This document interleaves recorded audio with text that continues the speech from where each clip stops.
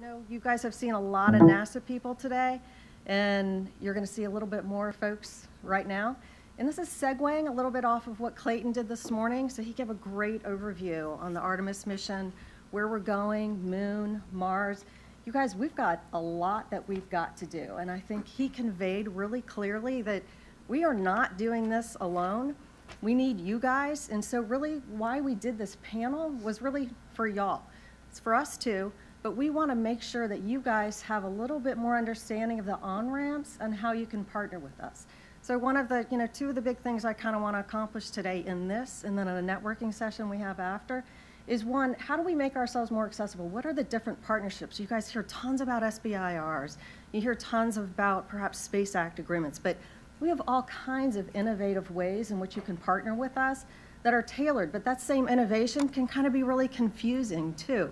So I think we kind of want to shed light on that. We want you guys to hear from us on how we, you can best partner for us. But mm-hmm. I know that the, the title of this panel is a little bit weird, making NASA accessible. What does that mean? But again, that is so that we can kind of open up the doors, have educate you guys a little bit on these partnerships. And I will be self-admit that sometimes partnering with us can be confusing. Sometimes it's even hard for me with how large our agency is to know, okay, well, who's got this technology? Where is it? Sometimes we've got it at three different centers because they're all working different TRL levels. So again, you know, there is a, an element of confusion, but we, what we kind of want to serve here is be connectors for you guys who I have here are folks from each one of our core research centers as well as from headquarters. The reason we started with just three centers, and we've got 10 field centers, so yeah, we could have 10 people up here, but then that would be here two hours, and I want to do that to you guys. Core research centers really have a lot of our tech dev, a lot of our core R&D, and that's kind of a lot of what a lot of you new space companies are really looking at and looking to partner with us on. So starting, let me introduce our panel real quick, and then we're going to get started on some questions. We've got Marla Perez Davis, so she is our Deputy Director from Glenn Research Center. We have Dan Lockney, and so he is representing headquarters, STMD, Space Technology Mission Directorate, and he is a PE for technology transfer. Again, that's another one of the areas in which you can partner with us on the transfer. We've got Harry Partridge, he's our Chief Technologist from Ames Research Center, not too far south from here. And then I think you have heard from Clayton, so Clayton Turner has joined us back up here on the stage. He's Deputy Director of Langley. So again, before we kind of get started here, I just want you guys to, you know, we wanted to make this a little bit more conversational. The stage kind of makes it a little bit odd that way. But again, questions and answers from you guys, things that perhaps you haven't had answered from us, please do. We're going to start out with kind of a set questions that kind of might set the foundation on this. But again, I want to emphasize the fact, just the we on this, right? We are doing this together. Clayton talked about this this morning. We cannot do what we need to do and get ourselves to the moon, whether it's the Artemis mission, whether it's building large aperture telescopes out in space. We need the technology that you guys have, just like you guys need us. So let's work together. And please uh, think of questions when we get to open up to the audience here after we have some of the set questions. All right, but to start out with, I'm going to give each one of them five minutes to talk technologies. And so they're going to kind of go overviews on Dan, he'll talk headquarters, the other folks will talk what's going on at the research centers, and that'll give you insight on some of the core capabilities. I know one of the questions I get, or one of the, the, the people get amazed sometimes when we talk about everything I know we do at Langley. And I always get that question, like, wow, I had no idea that Langley does all of that. And I know these centers do it too. So again, it's just five minutes, but it's gonna give you guys a little bit of insight on what each one of these centers are doing. So we will start out with Glenn Research Center. And you are welcome to do it from there or at the podium. Yeah. Good afternoon, everyone. It's a pleasure to be here today. I was going to do it from the seat, but then I'm blocking. I cannot see anyone in this corner, so I decided to stand up. Well, there's not too much of a difference. Um, well, NASA Glenn, um, Research Center is located in Cleveland, Ohio. I don't know how many of you have visited um, our center, but um, we differentiate ourselves in terms of developing cutting edge technologies for both space and aeronautics. And I'm just going to talk very briefly about what is going on, and then I have a short video that kind of put everything together. So we have two campuses. The main campus, which is near the airport, um, houses 3,100 employees, uh, contractors, and civil servants, and uh, is also the home of the majority of the wind tunnels, also the uh, test rig, and a number of uh, very unique facilities. Plum Brook, which is um, around one hour away in Sandusky, Ohio, is the uh, home of one of the most powerful space environmental test facility. That's um, the place where we're going to take um, part of Artemis 1. We're going to be testing the um, um, spacecraft. It's coming to uh, Cleveland, Ohio, and we're going to do environmental testing on that facility. So today at Glenn, we're supporting our nation's Artemis exploration effort by developing and testing critical flight hardware that will help land the first woman and the next man on the moon by 2024. We're leading the uh, Orion European Service Module, as I indicated. We also lead the solar electric propulsion, which is the propulsion of choice, and some of you have heard that this is the first element for the uh, Lunar Gateway program. So we do have the power and propulsion element development at Glenn. We're also leading the development of a kilopower, which is a safe, affordable, and reliable fission power system that can enable long duration stays on the moon. Uh, we also work in fluid physics, um, combustion, and uh, fluid racks for International Space Station and countermeasures to uh, help uh, for the health of our astronauts. I will not, um, I will be remiss if I don't mention our role in um, aeronautics. Uh, we are also leading uh, engineering and uh, better space, uh, space uh, aircraft. Uh, we also develop and test hybrid electric propulsion and power system that improve future passenger aircraft efficiency while reducing emission cost and noise.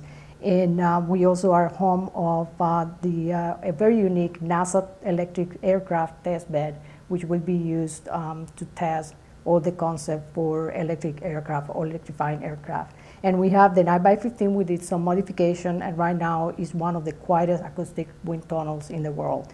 Um, with that, what I would like to do is just run the video that kind of uh, put all these things together in terms of what we do also in materials and structures, communication, and power.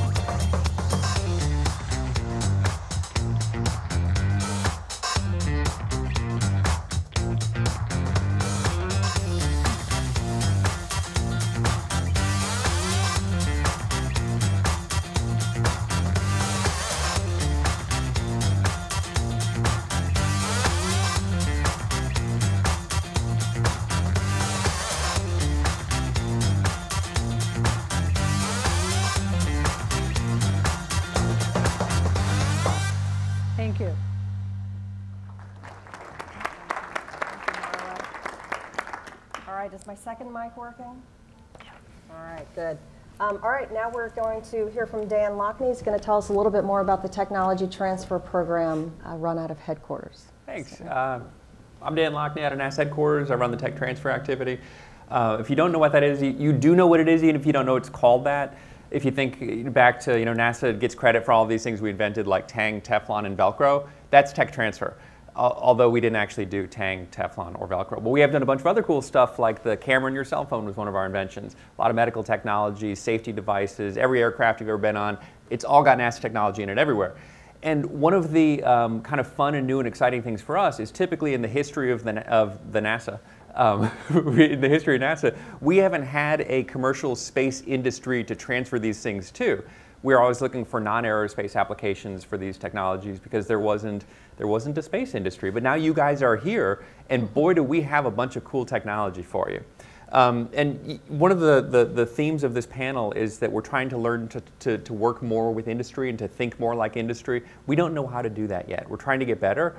Um, but one of the things we've been trying to do within tech transfer is something we all know how to do, and that's think like consumers. Uh, we all buy things and we all, we all shop for things, and um, and we all use the internet. So one of the things we've been trying to do in tech transfer is to make sure that our technology portfolios are all online, that they're easy to navigate, that if you are interested in something, you can reach out to somebody and get more information. You can find the information yourself. Um, if you're interested in licensing from us or accessing some of our software, we have automated, simple tools for you to, for you to get that stuff. So we're, and, we're, and we've standardized it across all 10 field centers so that you don't get the, the different experience when you go to Stennis or Glenn or Langley. Um, and we are trying to, um, uh, to improve. And um, I, I, distributed propaganda uh, to each of you. Each table has uh, little cards on it. Um, and that, that's from me. It's a little gift. You can take that home with you, for, suitable for framing. Um, and what we're doing is, we're, uh, is a study of how NASA can pr- improve its intellectual property policies and processes in order to better serve this community. So some of the topics would include things like um, uh, invention disclosure. If you're a small business and you work with us and we give you a small amount of money, like say through an SBIR, and then you have to go through this process of, of reporting your invention, we want to make sure that's painless for you and that you also know why you're doing it and what the advantages are to you. If you try to license from us, we would like to know what does this community want in terms of patent licensing? Um, what are your thoughts on exclusive versus non-exclusive? Should we give it to everybody or, or does it make more sense to give it to just one, one company and have them work on that and then you all work on something else? Um, so we've got these questions. We'd like your input. Um, so I have slides too. Uh, we have an, an, activity called Startup NASA. It is a no-cost uh, technology patent license uh, to startup companies, and we're very loose with our definition of startup. So if you're thinking, oh, I've already incorporated, but eh, you're a startup still. It's a no-cost patent license, non-exclusive. You don't pay us anything for the first three years. At the end of um, three years, if you hadn't commercialized, there's a little um, quit camping out on our IP uh, penalty charge that comes in that, that, that, we'll negotiate with you. But ultimately, we're trying to get um, technologies out to industry. Um, low running royalty rate of about 4% um, if you are commercially successful, but no money. If you're interested in patenting a NASA technology, it won't cost you anything if you're a startup company. You're interested in, in uh, accessing our technologies, we have an online portfolio. It used to be organized by NASA Field Center, but we found that, that it's more useful to tell you what the technology actually is instead of where, instead of where it's from. Uh, so we have categories in here like aeronautics, um, robotics, um, automation, materials, coatings, sensors, instruments, anything you might be interested in, we have it here. Each technology that we have available for you um, has a plain language description, more technical inform information.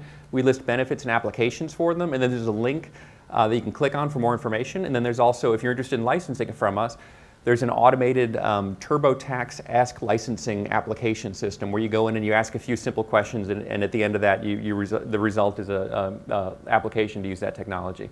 We have evaluation licenses if you want to just kick the tires and see if you're interested in it. We also have commercial licenses if you'd like a little exclusivity in order to, to compel investment to bring it to market. We also have a software portfolio. NASA has over a thousand free codes, and the reason they're free is the, um, the US government hasn't quite caught up um, with um, uh, software yet. So the US government is not allowed to copyright and we don't patent software. So as a result, the thing that we're able to do is just give it to you. Um, there's over a thousand modern everyday um, uh, codes. These are, um, nothing in this catalog is over five years old.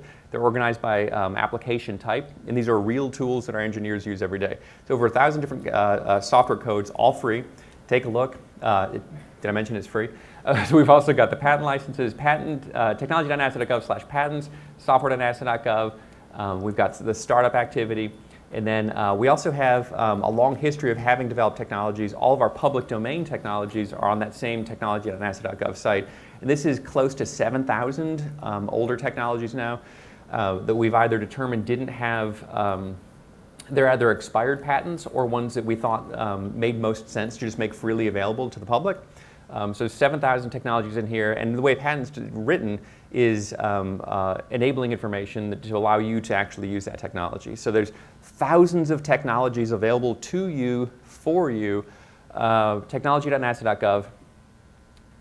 I'll skip that because I'm being told to stop. And then I'll leave you with just with my propaganda slide. I think this is just a cool picture. And I let it sit there for a minute. Y'all can look at it. Um, so technology.nasa.gov, patents, software, free licensing, and uh, thank you. Great, Dan. Thank you. All right, good stuff. We're just scratching the surface on these. All right, so Harry Partridge, next up, Chief Technologist of Ames. Well, it's a pleasure to be here. Pleasure to be here today to welcome you and tell you a little bit about uh, NASA Ames. Um, if you don't know where NASA Ames is, we're located in Silicon Valley. Uh, let's see if I can figure out the slides. It's the top button. Top button. Uh, so we're located in uh, Silicon uh, Valley in Mountain View, California, so not far from San Francisco. Uh, we're near Google, not far from Stanford, four miles or so from the Stanford campus. Um, I think it has the best weather of all the NASA centers, so if you can I come and visit us. Yeah. Um, so a little bit about Ames. Ames was formed uh, quite a while ago, or, uh, before 1940. It was part of NACA, second NASA center.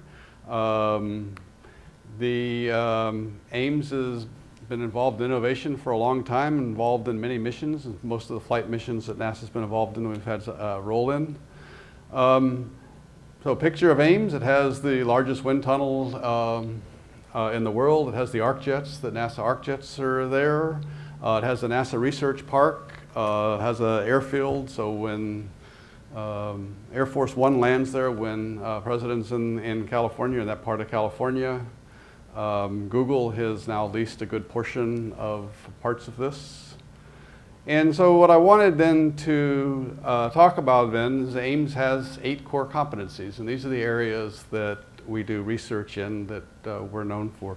So air traffic control, if you flew here uh, the, on an airplane, uh, the air traffic control system, a lot of the software, the ground control software was actually written at Ames. Uh, the entry systems, uh, the TPS systems uh, get developed. Uh, um, so HEEET is, for instance, is a recent example of that. It's a, a high performance uh, thermal um, protection system.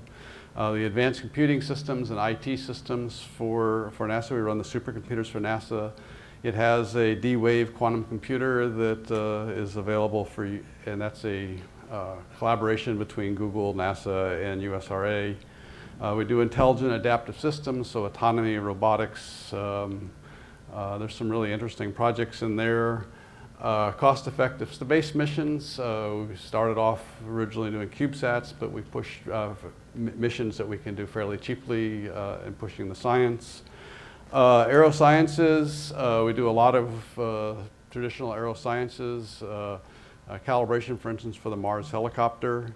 Uh, astrobiology and life sciences, we do a lot of work in life detection. Uh, the, the Astrobiology Institute uh, is there. It's uh, li- uh, planetary sciences are there, earth sciences.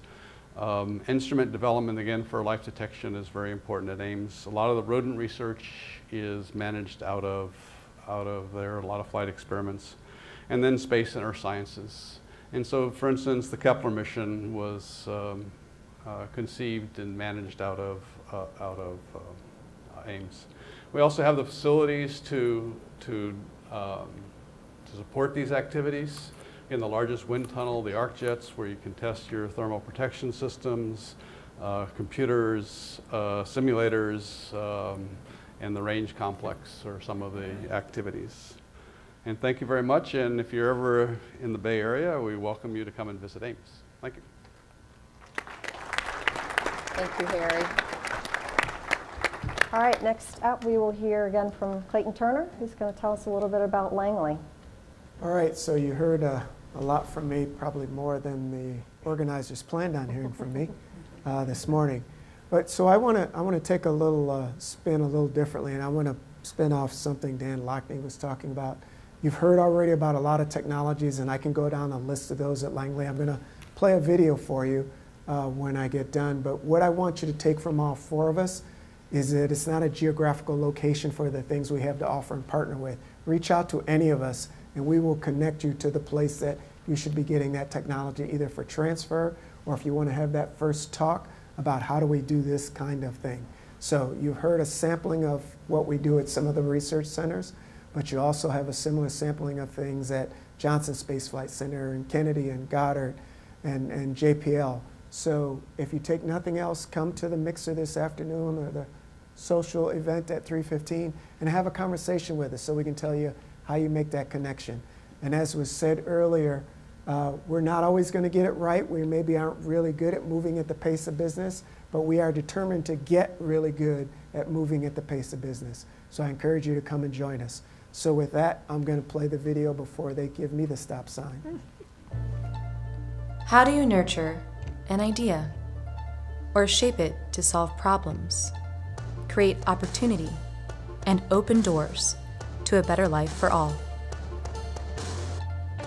First, find its strengths, discover its limits, refine it, test it, and repeat. At NASA's Langley Research Center, we strive to discover, distill, and connect great ideas, then channel them into solutions leading to a brighter future. With vision and determination, we look beyond what's possible today and strive to make tomorrow a better place. An idea could be as small as a few lines of code, or as big as a revolutionary way to travel. It could be a system for building in the vacuum of space, or a laser that helps explorers land safely on the moon. We're on a quest to discover trailblazing ideas and transformative tools. We build, measure, and explore. We accelerate technologies and connect concepts, along with the people who envision them. Together with our partners, we push for deeper understanding and search for innovations that will benefit everyone. Breakthroughs that improve how we fly, how we see the Earth, and how we explore the universe. Our work will spread global goodwill, improve lives, and protect our planet. A great leap starts with just one idea. NASA Langley, where great ideas take flight. Great. Thank you. Thank you guys for the overviews. And I, am glad Clayton made the point about all the different technologies really spread throughout the agency because you may be hearing from just a handful of us up here, but we represent one NASA. And so there may be a technology that you guys are looking for. I'll use one for an example. Somebody was uh, asking a, a, nuclear power question earlier at lunch, right?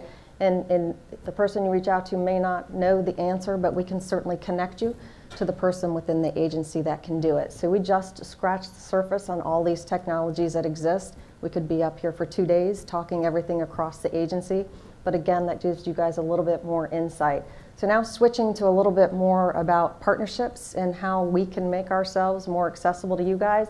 I'm going to go ahead and run through some questions with them and we'll let them share a little bit of their insight on these questions and then we're going to go ahead and open it up to the audience on Q&A. So we're going to, first up is going to be Marla. So Marla, I know with NASA, uh, you know, Dan had made a point earlier, uh, a, a, good one in the sense that if we would have been having these conversations 15, 20 years ago, this new space community didn't exist. It was, it was just beginning. And now we have a lot of folks out there that we can leverage for this type of technology. We can collaborate that can really propel technologies that we want to advance. So with that, what are the most critical changes that NASA that you think that we need to make in order to face the future to become more collaborative and more effective? So I think um, we have the mechanism. It's about creativity, flexibility, and speed. Speed is going to be important. Um, it's important to you. It's important to us in terms of you know how we develop the technology, how we transfer the technology, and many times is the partnership what really provide that speed.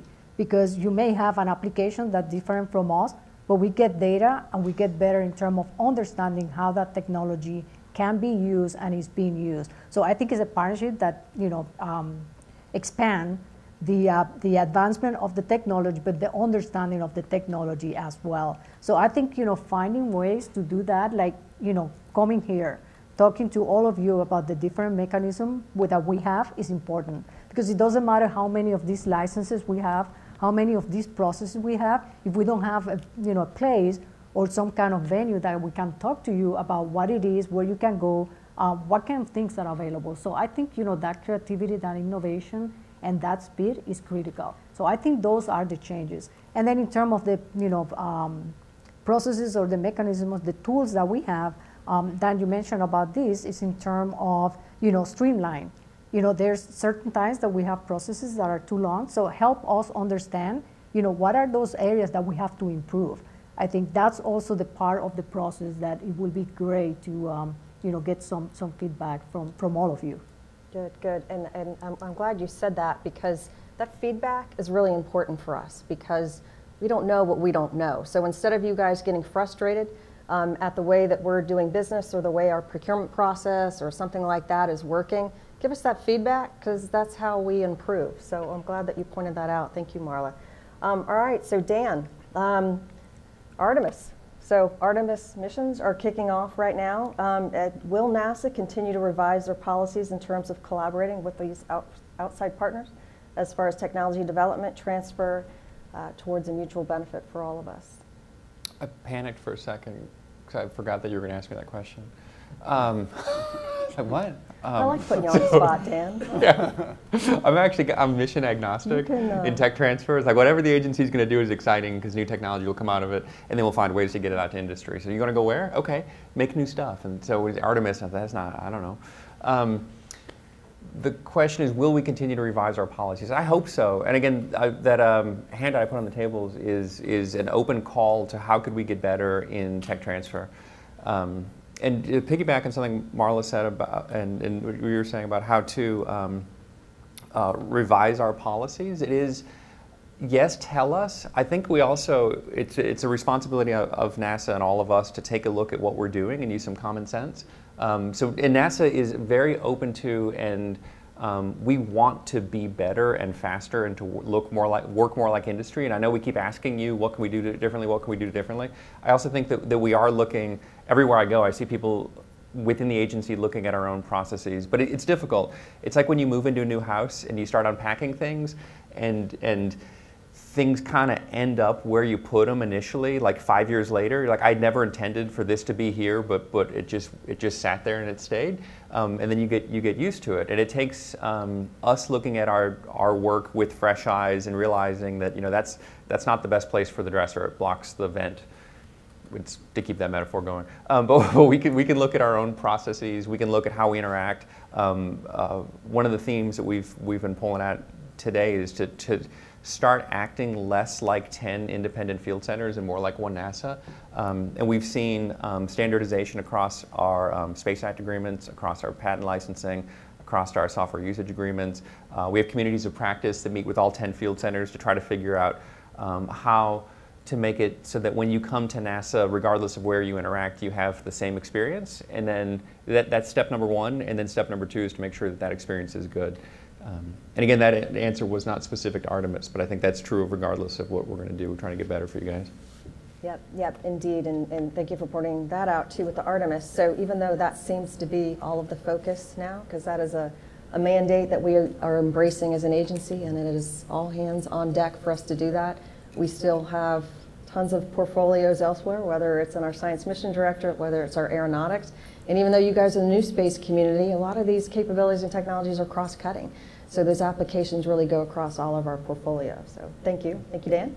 Um, all right, Harry, so I'm going to kind of give you a, a scenario here where uh, as a new space company, um, you happen to have a technology that they can benefit from or could collaborate on, what, what would be your advice to give them on their first steps on how to engage with you into a form of collaboration? So if you have a, have a technology that you know uh, that you want to, uh, to, to license or something like that, you should definitely start with the uh, partnerships office. Uh, they, they do the agreements, they can draft them, they accelerate them getting through the system. Um, I mean, that's just the, the natural place to, to start off with. Um, if you think you have know what you want or you're not certain about it, you can still start with the partnerships office. They can then put you in contact with people. Um, all the centers, though, also have a chief technologist. You can contact them. They can help uh, guide you. Uh, eventually, you'll end up back at the partnership office, but they can give you some of the information you need to get to, get, to go on.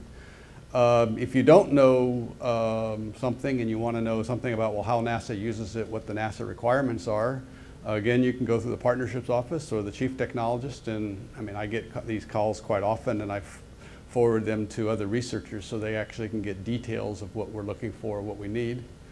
And the other thing that uh, we can do in, in this is say that you have a technology that you think NASA would be interested in. Um, uh, you can, we're also interested in those technologies and I, I meet with quite a few companies and go find out what they're doing and what and how we would use those. Uh, NASA iTech is an example of that where um, we have problems or, and if companies have technologies they think NASA's interested in, um, and frequently we pass them on to make, you know, help make contacts within NASA to explore those technologies. Great, thanks, Harry. And the, the, partnership offices that he refers to are, we have one of those at each one of our centers and then also at headquarters. Uh, so all that information is online and in fact there's material within the bags that kind of give you contact info.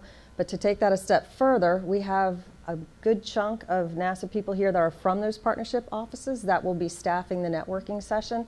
So we can take that a step further and you guys can actually meet them. So let's say that you can't have any luck with any of those, then uh, we had said earlier, you guys can call any of us, right? Because what we kind of want to do, again, is make it accessible. We want to be that connector. If you guys don't have luck getting with those, then you guys can get with any NASA person that you've met and we can see if we can connect you to the right person. All right, so Clayton, you're last up, and um, kind of twofold question. So, what kind of opportunities uh, exist to increase collaboration in the realm of space technology or beyond? And how do you think NASA is adapting to the external commercial space market?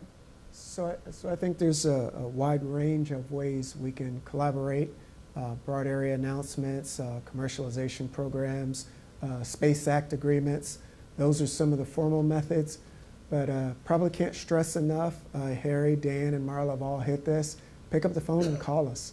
We have, I had a conversation with somebody after this morning's talk, and he was asking me some questions, and I said, You need to talk to Marisol Garcia. So if you're in here, Marisol's right there in the red jacket. all right, so that's your first entry point. And, and when you talk to Marisol, it's not just about what's going on at Langley. Marisol is connected to the network that can get you to those other technologies. So while there are many formal ways to go about it, uh, the first thing is that conversation. The other thing I'll say is you tend to see the face of the technologies either through folks like us or the subject matter experts, but there's also uh, folks in our procurement office, our legal office. They're also looking for ways to say yes if. There's going to be some requirements, some things by law that we have to do, but beyond that, we're going to try to be as flexible as we can, and they will be trying to find that way, yes, if. And as many on the panel have already said, to do that at the pace of business.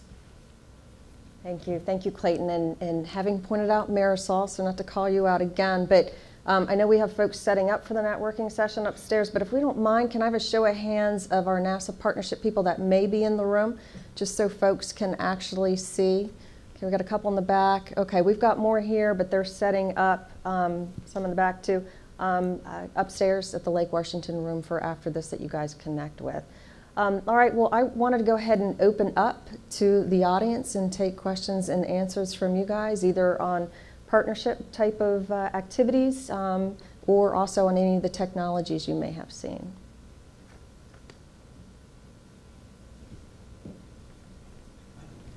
Some over here.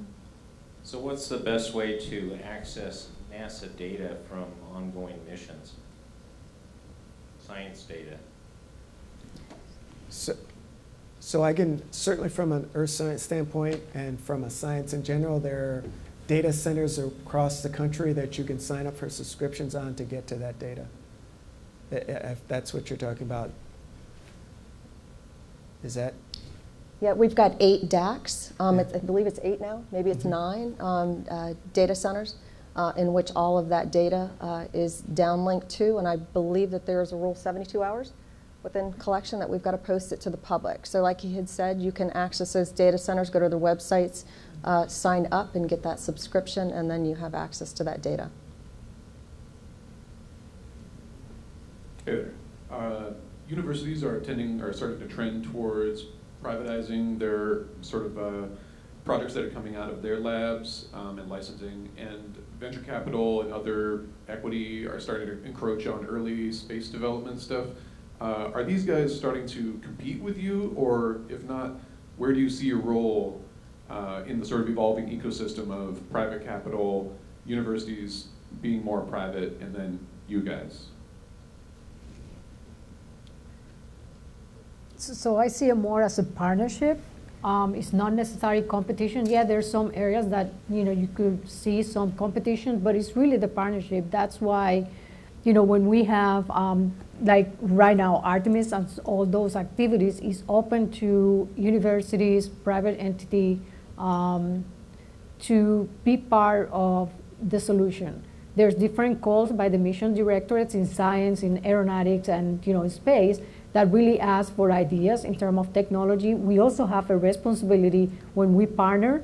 Um, if there's IP data, we have a responsibility to negotiate that and make sure we protect the IP data of you know the company. Now, if it's government and the government is putting the money, then we have also a responsibility to share that with you know e- the public. So that's kind of the negotiations, and every case is you know case by case. So you really have to sit down and talk about that. We do have great partnership with universities, um, and we really like their talent because you know a lot of time we look at the problem, and we have been looking at that problem for too long, so we cannot see more than what we have been trying.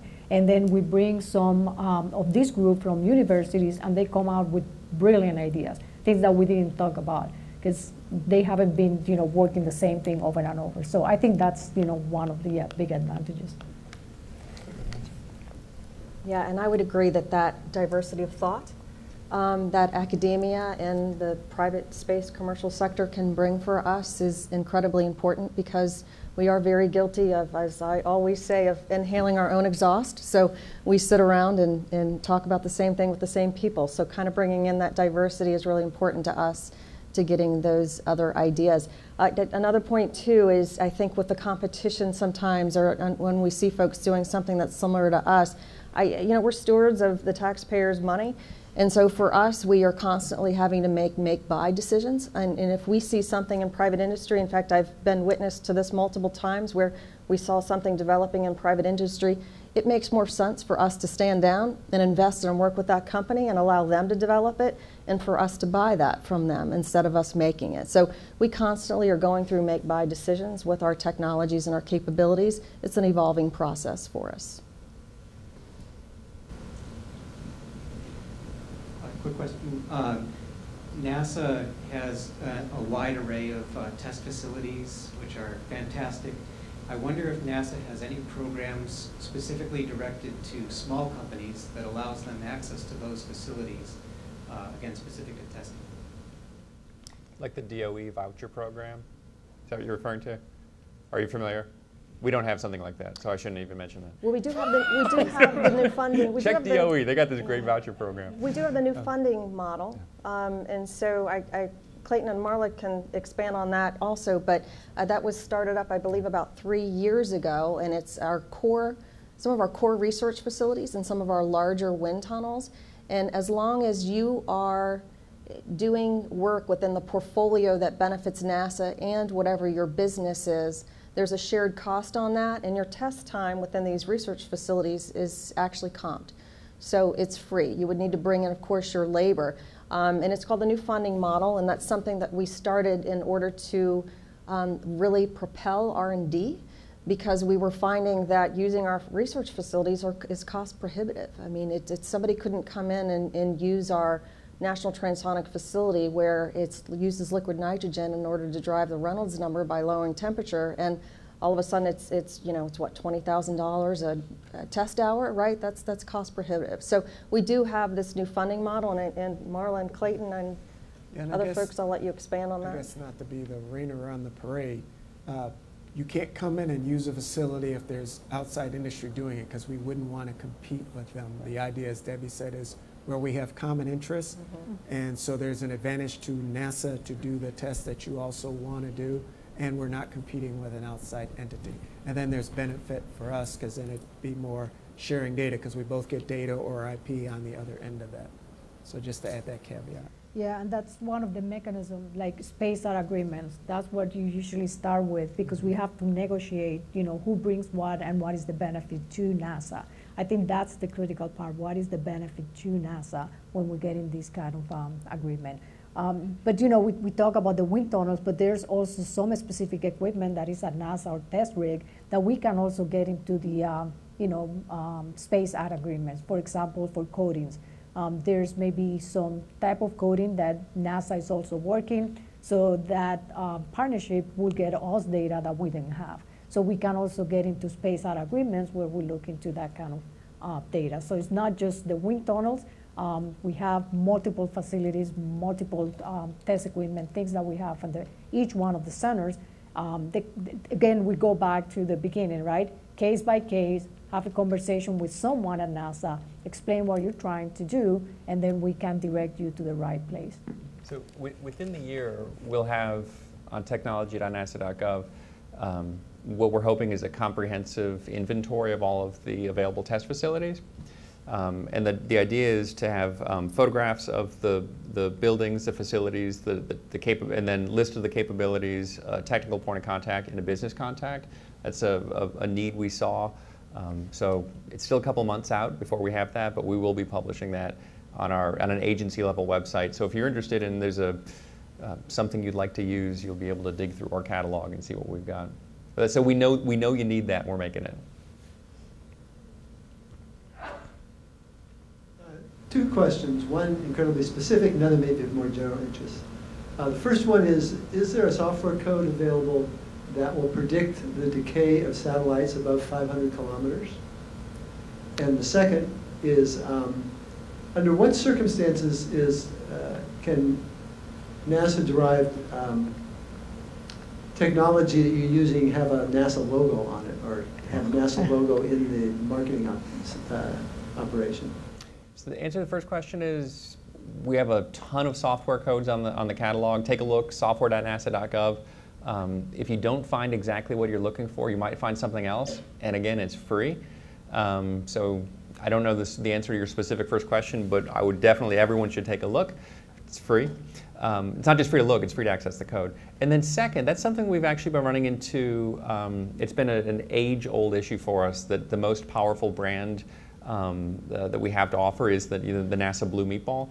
Um, and, and currently, we're not able to um, let licensees or partners use it. Although there's there are there are active conversations at headquarters now to either um, uh, let us use some modified uh, service mark uh, that a company could put on a product or their website and say, yes, I have a NASA grant, yes, I have a NASA SBIR, yes, I- this is a, an official licensee of NASA technologies. Whether or not it's the meatball, we're still negotiating that. Um, but it's something that every couple of years we run that through the Office of Government Ethics and ask them for permission. But, but the current administration is, is a big advocate of, of taking better advantage of that, that blue meatball logo. But yeah, right now you can't.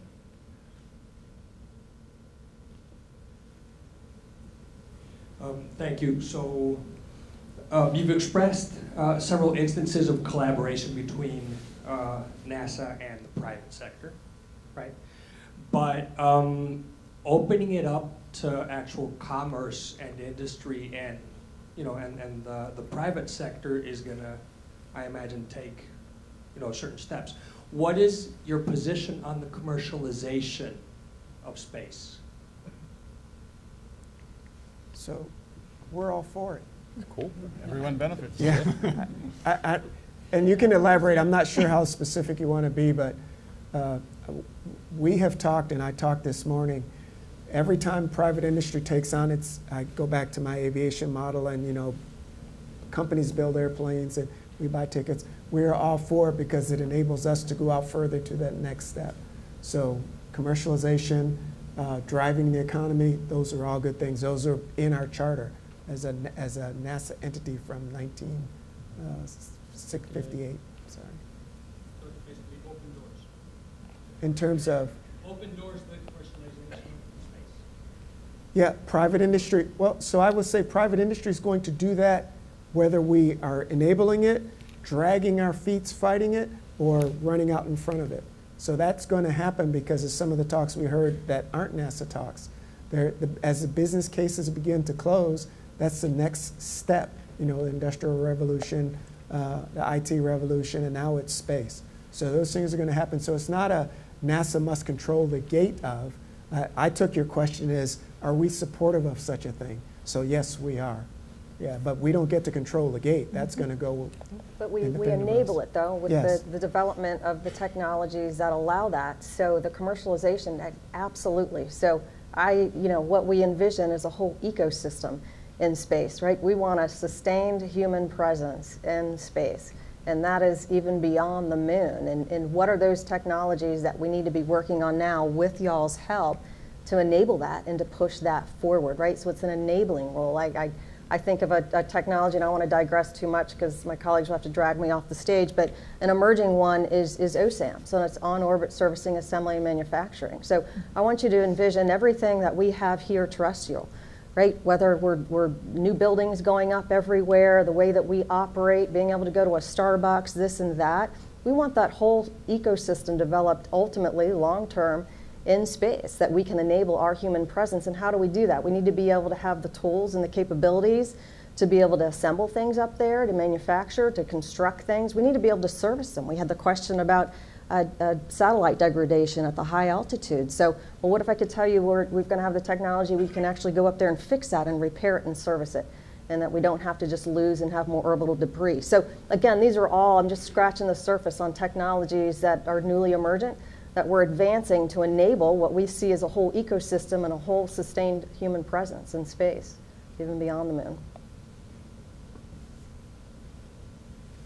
So you mentioned ecosystems, which is a good lead into this question. So there's a lot of companies out there, and they're each selecting their own independent kind of vertical, whether that be power, um, transportation, habitation, life support.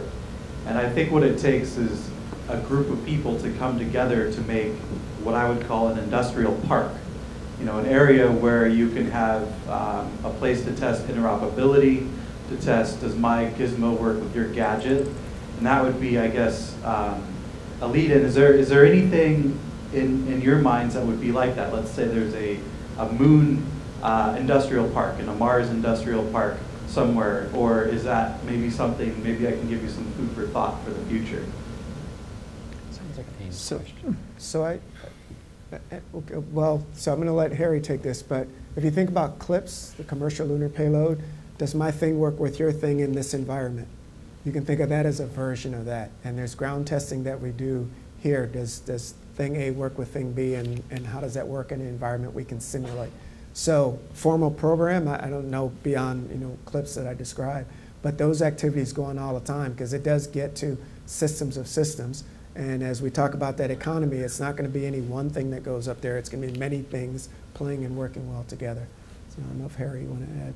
Um, so for analog systems, there are, um, I mean, NASA has systems that it uses for testing things. And sometimes those are available, but there are also universities that are creating uh, analog systems. So think of Boulders uh, is, is working on an analog system. There are other universities that, that are doing that. But I mean, NASA has a set that it uses for testing um, and where we go and test them. And, and that information, uh, sometimes we try to make that available. I don't know that it's a central location, but there are things about how we do that. Um, and so those can be made available. Uh, I guess I'll just follow up with it'd be really cool if you could uh, have a site, say in the desert somewhere, where you uh, terrestrially, you could test out a lot of technologies. I don't know if that falls under any of your of your work scopes, but that would be pretty cool. So, so one of the, um, I mean, it's, it's a cool idea. One of the difficulties is when we think about, like, for example, Mars. How you can simulate the right environment. Th- that's where the difficulty comes because you still have to simulate the gravity. It may be you're able to test in terms of the dust. There are certain conditions that, by, you know, by all means, you can replicate. But when it gets a little bit more complicated is when we start talking about the gravity. Uh, when we start talking about the, uh, the composition of the atmosphere out there. Those kind of things you can test, but then you really have to rely on subcomponents. And there's still always the question about when you put everything together, how that's going to work. So that's why going back to the moon, we're so excited about that because that enabled us to test and really, really test some of the technologies that we're going to need to improve and also that we need to develop at a different stage to go to Mars. So I think you know that's that's the big test, how we can create that kind of environment. We, we have been very successful with other. Um, I talk about you know what we're doing in Plum Brook, for example, that we can test certain conditions in terms of space launch. You know the thermal, uh, the electromagnetic, certain things, but we cannot test every single thing. Like for example, if we're talking about a power system on the moon, um, yes, we can do certain things at a you know small scale, but the whole system we really have to go there, and that's what we're so excited, being able to be there and really test some of these technologies. But great idea, you know, great idea. So I'd like to second the importance of the comments on a uh, uh, industrial park, not only here as an analog, but actually in space. And what we have not heard from NASA is what is your plan, what is your vision for a lunar industrial facility? How are you going to shape that and set goals to structure that market?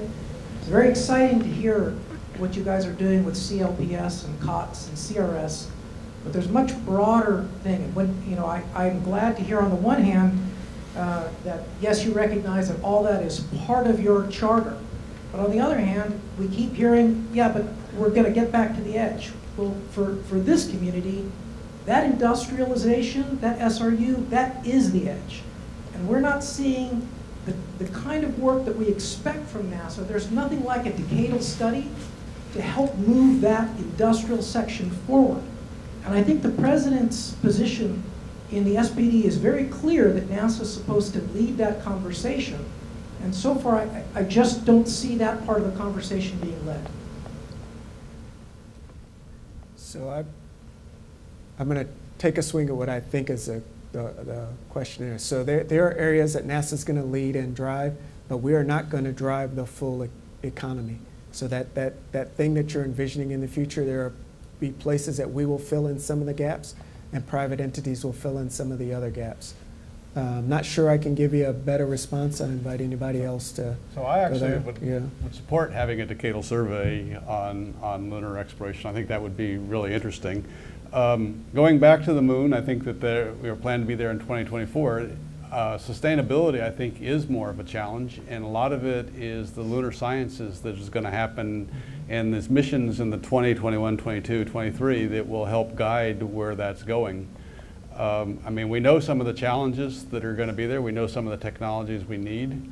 Um, and, you know, I mean, there were detailed roadmaps for lunar, uh, for Mars exploration, but some of those don't translate back to the lunar systems. So. Uh, I was determined not to say any questions during the NASA panel since I am NASA, but I'm also old enough not to care if I get in any trouble. Uh-oh. So, uh, We still This is not a good start. And that wraps up our panel. I'm Just sorry, kidding. but- but Carry There on. was a fundamental misunderstanding stated earlier, and uh, so I wanted to, to get over. When the, uh, a, a good question was asked about, uh, since, as, uh, as Dan stated, uh, NASA recognizes that uh, new companies have trouble getting started, and a good example to try to help them was uh, New Start licensing, give them a couple years free to, to make use of things. Well, why don't we have something related to that for facilities? And it turns out we really don't. Uh, Marla happened to mention that, uh, and in Marla's defense, every single NASA uh, official states the exact same thing Marla does. that whenever we negotiate things like Space Act agreements, we always have to look at things like uh, in the negotiations that, well, what's in this for NASA too? When it comes to commercial space development, that's not entirely accurate, as the saying goes, because it is not, has not caught up with the change that happened in the last couple of years in the law. In the last couple of years, the Space Act, the founding law of NASA, was updated. And the development of commercial space was made officially in law one of NASA's founding missions. Okay? It is not an also ran. It is not if we have some time. It is not if there's a few spare, spare minutes or if the facility is standing idle. It is one of our missions. And so I would maintain that if uh, a company comes up to us and actually has something that can make a potentially make a difference in terms of commercial space development, whether or not it has something to do with an internal approved NASA mission already existing is kind of irrelevant.